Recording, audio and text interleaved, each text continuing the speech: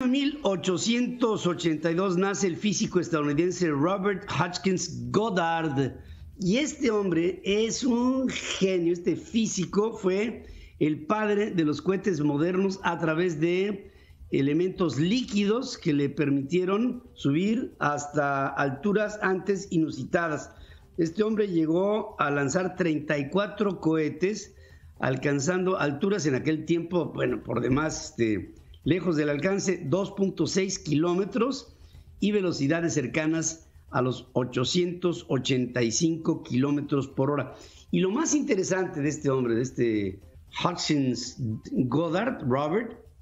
es que él creó el concepto de los cohetes por etapas. Hizo cohetes en donde una primera etapa se lanza, después se desprende la primera etapa,